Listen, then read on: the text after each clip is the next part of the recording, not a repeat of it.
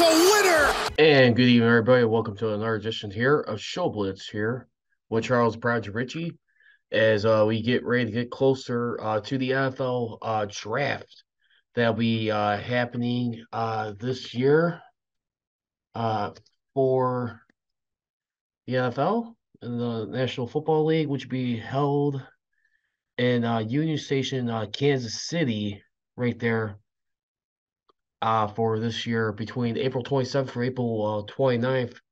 As of course we know, the Chicago Bears they own the number one overall pick. Uh, there's still debates going on right now if they'll be able to trade out that spot. Uh, more than likely, as uh, GM Ryan Pace has uh, been entertaining that, uh, possibly trying to get uh, multiple picks. They're the number overall pick. Should they keep it? Uh, we'll find out. Some interesting storylines uh, going on right there uh, especially when you got teams like Colts and Texans who are in this uh, draft right now, uh, both looking for definitely uh, quarterback uh, needs to fill. As you look at it, I mean, I'm not sure if the Texans want to continue on with uh, Matt Ryan overall, but when you look at the whole uh, draft situation right now, a lot of talk has been going in about uh, quarterbacks right now because the Houston Texans, they by winning their final game of the season, they dropped down to the second overall pick. And the Bears, who lost their last game of the regular season, I believe it was to the Minnesota Vikings, they were able to secure the number one overall spot. The Colts are at fourth. And a lot of stuff we'll get into. Plus, we're going to get into the Steelers uh, draft needs too. I uh, got a few little entertaining ideas. Uh, from around uh, the local media here in Pittsburgh, especially from uh, 937 The Fan. Uh, we'll get to those in just a moment.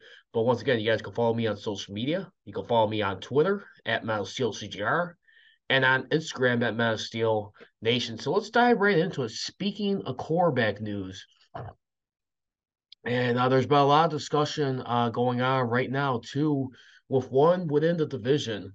Uh, Baltimore Ravens, Lamar Jackson, right now uh, who right now, by the way, is an unrestricted uh, free agent.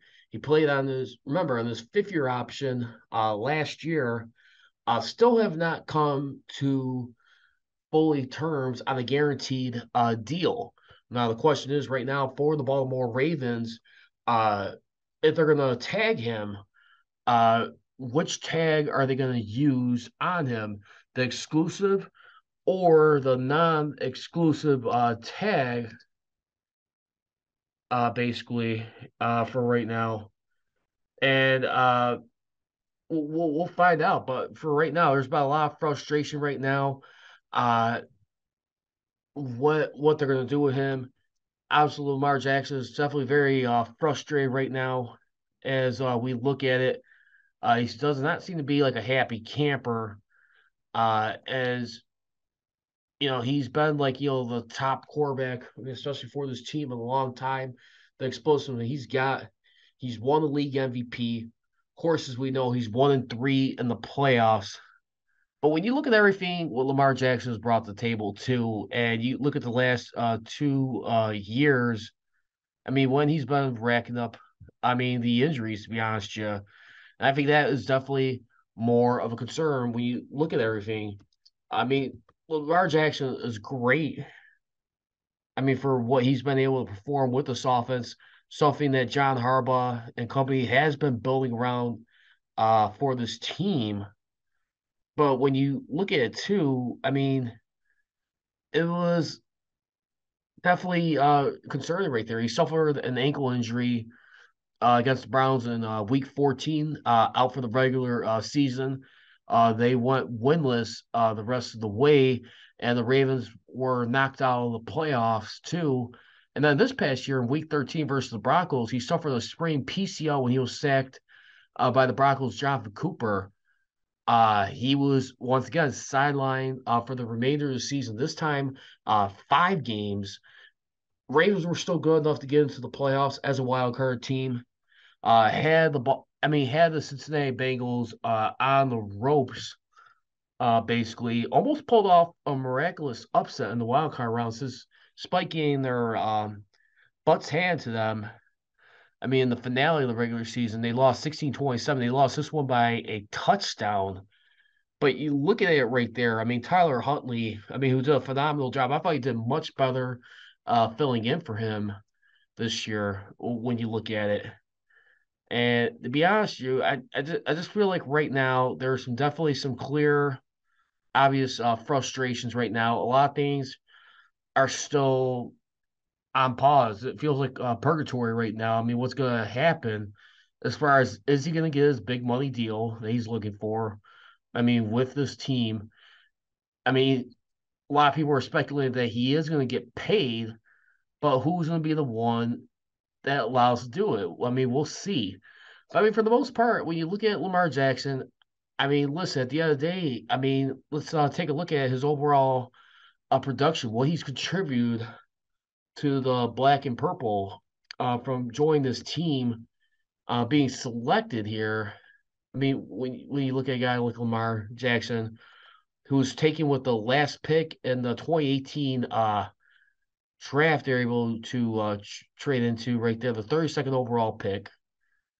And look at his career right now. I mean, overall, I mean, he is uh, 61 and uh, 45 you know, as no, excuse me, 45 and 16 as a starter. And for everything that he's just uh, been contributing uh, mightily here, I mean, uh, for the most part, I mean, he's uh, completed about like 64% of his passes. I mean, uh, well respectable, uh, 101 touchdowns, so 38 interceptions in his career. I mean, passing wise, I mean, yards per game, uh, he is averaging about 174. Still somewhat of a game manager, despite using his legs. I mean, when you look at it too, I mean, for what he's done. Now, there's still a lot of conflicting reports going on because a lot of people who have been following him. We're expecting he's looking for like a fully guaranteed deal, what Deshaun Watson has uh, gotten with the Browns. Uh, I mean, here are the top uh, right now as it stands, the following quarterbacks uh, who's got the most uh, money guaranteed at sign. It is Deshaun Watson with the Browns at $230 million, followed by the Cardinals, Kyler Murray at 189 and a half. Now remember, Deshaun Watson is fully guaranteed. Next, you got the Broncos, uh, Russell Wilson, 161 uh, million dollars, followed by uh, the Green Bay Packers, Aaron Rodgers at 150.815 million, and then uh, the Buffalo Bills, Josh Allen, 150 million. Patrick Mahomes of the Chiefs, over 141.5 million dollars. Rams Matthew Stafford, 130. Cowboys Dak Prescott, 126 million. Lions Jared Goff, over 110 million. And last but not least, the Colts Matt Ryan at 100 uh, dollars right now. Now, here's the thing right now the tags uh, that they could use. Now, the pricier one would be the exclusive tag. Now, remember, that's projected to be around $45.2 million right now. Now, the key thing is with that, uh, for people who've been paying attention or just wanting to find out, remember, that tag right there, he cannot negotiate with any teams. I mean, if they use the exclusive tag, I mean, he basically uh, keep him around from like uh, hitting free agency regardless, either tag he use. And you don't have to worry about teams uh, swooping in. And then, because the reason why the exclusive tag may sound a little more favorable than the non exclusive, the non exclusive, now remember too, that one right there, uh, teams can negotiate with Lamar Jackson, and the Baltimore Ravens would have an opportunity to match or up the offer. I mean, if they say no, they get two first round picks uh, sent to them uh, by that team, uh, basically. And as we look at it, so I mean, when we look at it right there, I mean, for everything, what we have right now, so they uh, the Broncos surrendered two first round picks uh, for 2022, the the ninth and 2020. So they surrendered uh, two two first round picks for 2022 and uh 2023. So it was ninth overall in 2022. And then uh, the fifth overall pick in this year's draft, uh, which be for 2023. In addition, they also gave two second round picks, the 40th overall in 2022, and then uh, for this year uh, with the Denver uh, Broncos, the Seattle Seahawks get the 38th. So again, remember, it, so for uh, this year's draft, uh, for the first round pick, they get uh, this year's uh, fifth round pick. I mean, the, the excuse me, the number fifth overall pick in the first round, and then the 38th overall pick in the second round. So two first and two second round uh, picks uh, that the Seattle Seahawks were able uh, to get. And of course, you remember too, I mean, with the Seattle Seahawks, I mean, did a real good job with uh, Geno Smith, who had a little bit of a reborn uh, year, to say the least.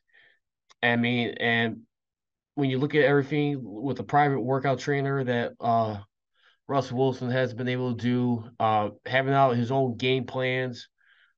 I mean, and like working with his teammates, seem to be a little bit too much empowered. But I mean, at the same time, too, I feel like uh, he felt himself as like clearly a top runner for former uh, MVP voting, which very respectable. But I mean, at the end of the day, too, I think that's what the Ravens got to be paying attention to because they do that, they're they got to be thinking Lamar Jackson's got to be more worth than just two first round picks. I mean, I like the idea of the non-exclusive because it's a little bit cheaper, thirty-two point four million. Regardless, each one is a hundred. I mean, it's a one-year tender.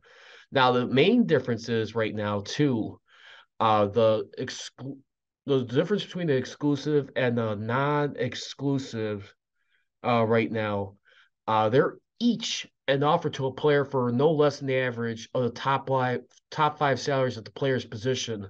The exclusive uh, is for the current year, while the non-exclusive is for the five pre previous uh, years. Right there. So that's what we gotta look at right there. And remember, Stephen A. Smith did say on First Take about a couple weeks ago that Lamar Jackson and his camp spoke to him, saying that he's never asked for a fully guaranteed deal. The number that the Ravens stopped was at $133 million guarantee, which in his mind, a lot of people who were in favor of Lamar Jackson was pretty much lowballing. The thing is, too, I mean, Josina Anderson was even saying last week too that he he doesn't have to have more than 230 million guaranteed. He's looking at that to be the very minimum to start with to have at least guaranteed starting. Now he does want to have more. So for example, he could have something like say 250 million dollars uh grand total in the overall uh money he'd be earning, but he could have like say maybe 230 or 240 million of that guaranteed, for example. So even though maybe 10 or 20 won't be guaranteed, he'd still at least like get like the Deshaun Watson maybe a dollar or a couple millions more than he got. And I'm gonna be honest you right now, Lamar Jackson, listen. At the end of the day, I mean, when you look at, I mean, like uh postseason wise, what he's been able to do. I mean, when you look at it, I mean, he's one and three in the postseason. I mean, only 13 points a game. Uh, they've been outscored by 29 points, 52 to 81 in the playoffs. His uh, completion percentage has uh, dropped to about 56% versus 64% in the regular season. So it's an 8% uh, difference right there. But when you consider, like I said, the ankle injury and then, of course, the PCL injury in the last two years, I'm going to tell you right now, I think he's got a three, five year window to prove that he could lead a team to a Super Bowl. Now, some of the destinations we're talking about is like uh the Miami Dolphins, which would be a huge one right there.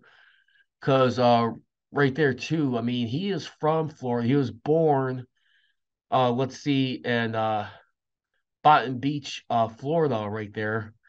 And the Miami Dolphins have not had a quarterback since uh, significant since Dan Marino. Now, of course, you have Tua Tagovailoa, whose career may be in serious uh, jeopardy right now. But I think, if anything, I think it's time with the Ravens might be coming to an end. But I'm gonna tell you right now, once again, as I told many people, I'm not sure if I want to guarantee more than $230 million guaranteed. I think a fair offer. I mean, when you look at the contracts that we just read out right there, I think if anything, I mean, you could give him 230 uh, total, but like maybe say 215 of that is guaranteed. I would do something like that. But I mean, at the end of the day, too, I mean, it's inevitable that quarterbacks are going to start going up. He's doing this without an agent. And the only conclusion I could draw right now, him not having an agent involved, of course, I mean, the legal fees, they got to pay with them their profit they gotta get. But I just get the sense right there. I mean, him dealing with his mom, people close to him, who seem to be very smart in their minds, and I hope everything works out. But are their agents going to screw them over? That's why I feel like the concern is with Lamar Jackson. I feel Lamar Jackson feels like, you know, like he probably seen like a lot of players who had agents they probably end up like uh, not getting everything they want. So, the question I want to pose everybody right now: Would you pay this man once again? I mean, if we're talking about, I mean, for a t- guy that could lead your team to the Super Bowl, keep Super Bowl contention beyond just the playoffs, would you or would you not pay Lamar Jackson over two hundred thirty million dollars? I would not, only because of the injuries right there. I mean, yes, players need to have their uh, long term security. They need to be uh, covered. I mean, for long term, but at the same time, too, yeah, look, if he's not going to be, I have a feeling he's going to keep breaking down more in time.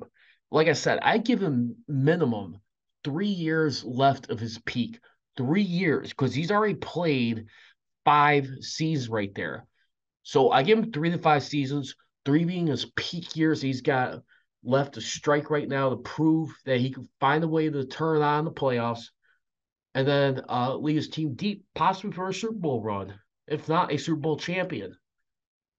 So I'm gonna say no, unfortunately, and not because I want him out of the AFC North, but I, I just I, I'm just I'm always tend to believer. I like quarterbacks who extend plays, do bootlegs and naked bootlegs, kind of like what Ben Roethlisberger did earlier in his career. I mean, where he was able to extend plays. That's the mobility I want. I don't mind running every now and then, but at the end of the day, when you are running, you're taking a big risk. Yes, you're going to avoid probably getting sacked less, but you're going to still be hit. And the more times you get hit, it's kind of like taking like a good car you have. You're tr- treating it like a being like a speed demon on the road on the expressway. But then once you get into that little car accident, that one little bump, each little nick, nick, nick, nick, nick, nick, nick, nick, nick, you start to like lose your value right there. So for me, that's all I'm gonna say on that. So we're gonna go ahead and pivot uh, from that point. This is Charles Pride Richey here of Showblitz. Thank you for watching the Mass Steel podcast with your host Charles Pride Richey here on YouTube. Please make sure to hit that subscribe button and for all the latest Men of Steel podcast episodes, feel free to download them on Mixcloud, Anchor.fm, and SoundCloud, wherever you get your podcasts.